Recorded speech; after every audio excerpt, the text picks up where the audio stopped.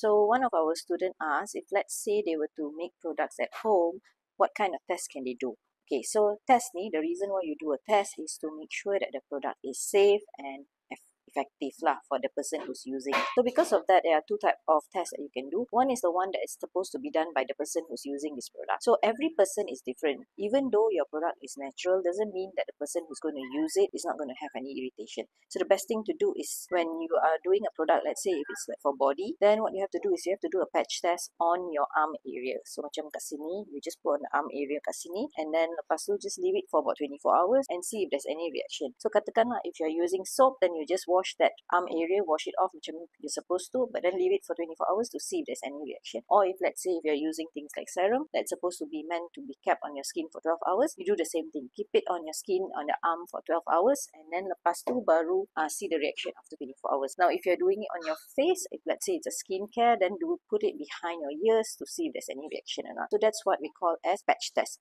every single person who purchases your product have to do patch test. Now, second thing that you have to do is uh, lab test. So lab test ni is like us here. So we have a GMP factory kan. So we have lab test for every product that we make. Okay, so let me just show you an example of our Soaplab punya product lah ya.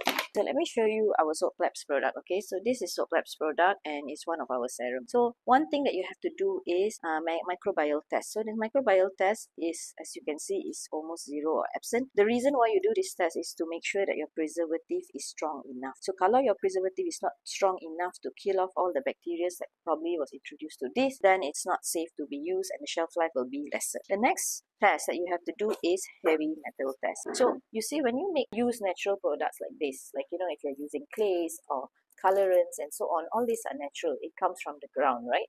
And these things might have lead or mercury in it. And so that's why you have to do a heavy metal test to make sure that there's no lead or arsenic or anything like that in your product so that it's safe to be used. Now, the best thing to do is, of course, to buy only cosmetic grade ingredients. So most of the items that we sell in Soaplab Malaysia here is mostly cosmetic grade products and we have COA and we have done lab tests for almost all the ingredients already and we have used it already. So if let's say you were to make product from home, I would suggest that you get products that already tested, ingredient that's already tested. Now if you have any other questions, do comment below or if you have any, you want to purchase ingredients or anything like that or you want any of our previous recipes, do contact us. Thank you so much for watching and I'll see you in the next video.